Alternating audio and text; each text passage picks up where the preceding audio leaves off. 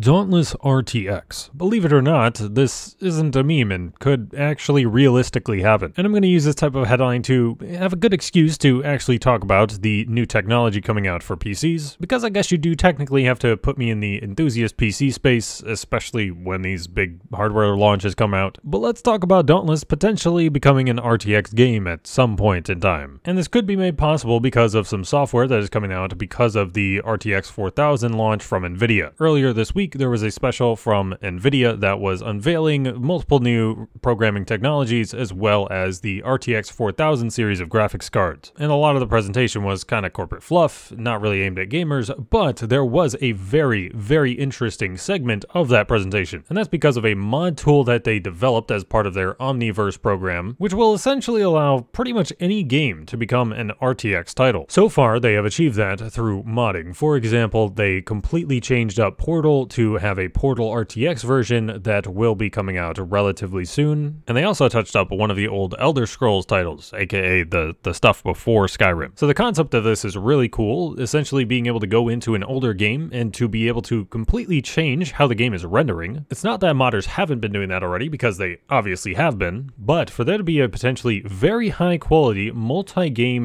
graphics development tool like this is honestly a great, great addition, regardless of whatever else you think about the RTX 4000 series. I'll talk about my personal take on that in a second, but let's talk about Dauntless RTX still here. While it is plausible this could happen at some point, I don't think Phoenix Labs themselves are going to really dedicate any resources to this, and that means this would be up to the community to make this sort of thing, and I'm not entirely sure if we have a dedicated enough individual to want to go out and learn how to use NVIDIA Omniverse and make this sort of thing happen. I do actually see that being a thing though for Monster Hunter World and Monster Hunter Rise, because even though the modding community is relatively small for the Monster Hunter titles, you know, Rise especially, but World is basically just cosmetics and, you know, overlays. But even with that being the case, I would say the Monster Hunter community has a higher chance of having somebody with the skills and the desire to do such a thing. Add that on top of you can already mod the game pretty easily, and I definitely think it's more likely for those. But let's say we did have an individual make this mod for Dauntless RTX, I would be curious to see how we would go about that. Would we have to bypass the anti-cheat software every time, or would we show Phoenix Labs, hey, yo, this is literally Dauntless RTX. Do you want to, you know, change some code around to allow this mod? Or would you potentially want to bake this mod into the base game as a sort of toggleable feature? But the question we gotta ask ourselves is, would Dauntless RTX even really look better? Maybe if you were to redo the textures to make them higher resolution, maybe that would be sort of more your thing. But as far as the lighting elements go, Unreal Engine does a pretty good job at light sources and rasterization. And it's kind of like super easy to go into Unreal Engine, set up a light source that casts shadows,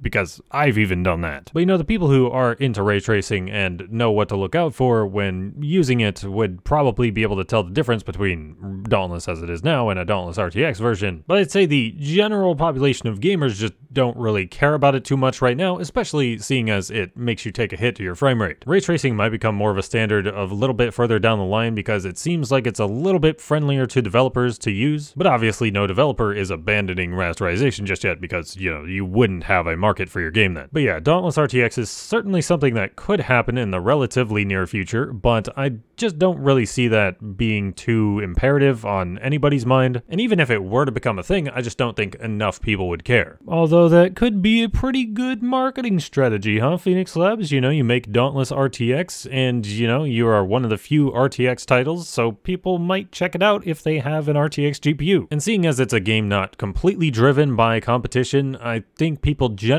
do land more on the graphical side of things instead of the performance side of things. So some people might actually want to enable it. But enough about RTX, let's get into the ruckus that this presentation stirred up. Because a bunch of people, including myself, are not particularly happy with certain things in this presentation. Obviously part of that is Nvidia just basically lying about their performance claims because marketing. Basically if you take some of the few benchmarks that actually seem comparable, in the majority of games you're probably getting a 1.6 to 1.7x increase from rasterization performance from the 4090 over the 3090 Ti, I think. But when it comes to the 4080 16 gigabyte and the 4080 12 gigabyte, which is basically a glorified 4070, the performance basically scales down until the 4080 12 gigabyte is basically even with the 3090 Ti, it seems like. And the performance here isn't really what people would be complaining about, right? A 4070 or 4070 Ti can match a 3090 Ti, and the only losers are the 3090 Ti owners. But what people are mad at is NVIDIA calling these both 4080s when one has an objectively worse GPU in it, and the consensus seems to be that they definitely named it that way, such that they would be able to charge an exorbitant price for it. The 70 class GPUs for the past two generations have sold for about $500 MSRP, but the 4080 12GB is pretty much objectively a 70 class GPU, and they are instead charging $900 for it, which is a $400 price increase from the last generation, which is about what they did with the 4080 as well, and this goes way beyond adjusting for inflation. And I am pretty much looking to go all out on a PC upgrade this year, however, I don't want to feel like I'm getting ripped off. If the 4080 16GB was 900 to $1,000, I probably would still considered getting that, but I'm definitely not going to want to pay that kind of a price for a 4070 basically. And now I'm kind of firmly in the camp of I'm going to wait for AMD before I make my final decision. I'm not sure if it was derived from a leak or was just speculation, but I saw a chart where a 7900 XT could potentially be coming out for $1,000, and that there would be two SKUs above that trying to compete with the highest cards that Nvidia has. And if that's true, I feel like I'm pretty likely to go with an AMD graphics card this time around. Because while you wouldn't be getting the full spec of that primo quality silicon, you would still be getting the primo quality silicon, unlike for $1,000, you're getting the third best quality silicon from NVIDIA. And worst case scenario, if I absolutely needed NVIDIA software drivers for something, I still have a 3080. And an additional thing that has irked me at least in the wake of this presentation is DLSS 3, with their whole AI drawing new additional frames sort of thing. I'm not convinced that this won't be completely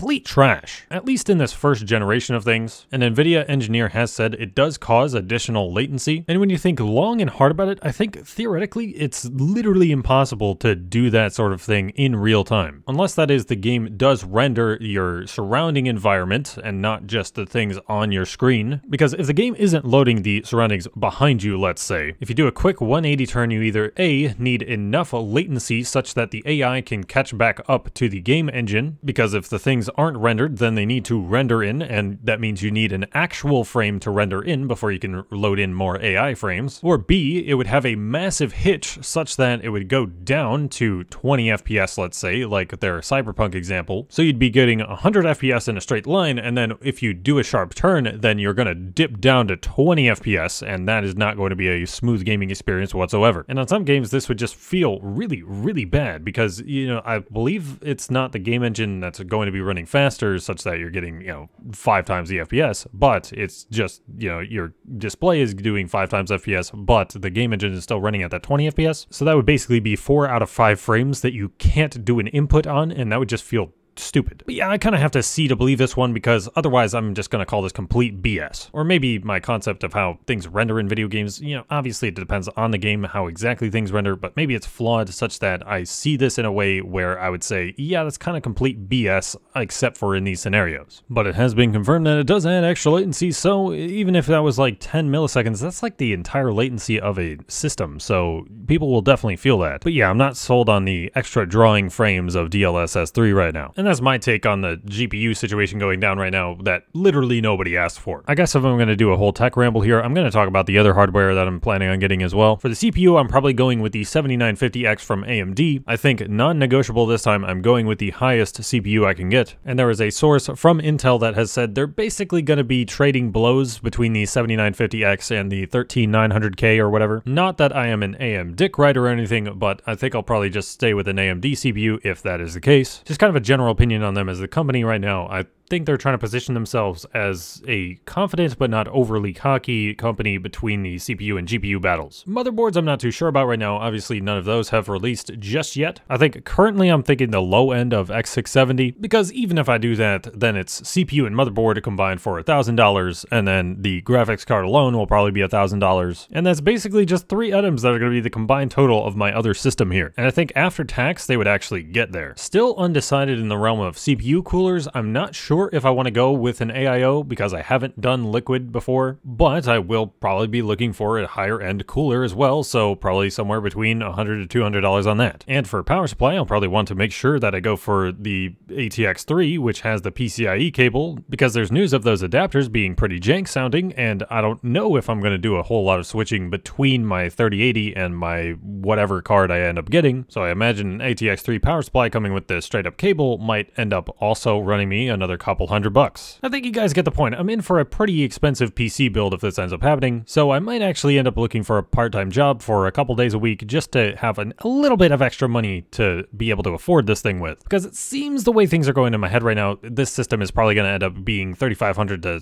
$4,000 right now. And for those of you who are like, why would you spend so much money on a computer? It's something I use literally every single day, and when you have things like that, you are kind of inclined to spend more money on them. In contrast, I do have a pretty nice car, you know, it's from the past decade, but, you know, I wouldn't be completely opposed to selling it to be able to afford some of this PC. I highly doubt I'm actually going to do that because I do like my car, but it wouldn't be completely unreasonable for me to do, seeing as I only use my car for maybe like 20 miles a week or something, 20 miles a week from my car versus 10 hours a day from my computer, you can kind of understand why people end up spending as much money as they do on computers. And now we're at the point here where I've gone completely past the video topic that was at hand originally. I don't know if I would call this a Mr. Rant, maybe a Mr. Ramble. Would you guys want to see a Mr. Ramble series? You know, basically me talking about a bunch of random topics, you know, trying to chain them together somehow in one cohesive video and completely failing. You know, it'd be pretty much like a, I'm in between video ideas right now. It would be a really quick video for me to release sort of thing. But I don't know, whatever, man. Drop a like for me, subscribe to the channel if you haven't done so already. I'm assuming you are subscribed if you've made it this far into this video in particular. But hey, maybe I'll gain one subscriber from this video because you actually double checked and you were like, wow, I thought I was subscribed. So you hit that button. You know, to that one person out there, thank you for subscribing. But yeah, that's going to do it for this video, guys. I have been Trevor. I go by the Mr. Trails, and I will catch you guys next time on a probably cohesive topic.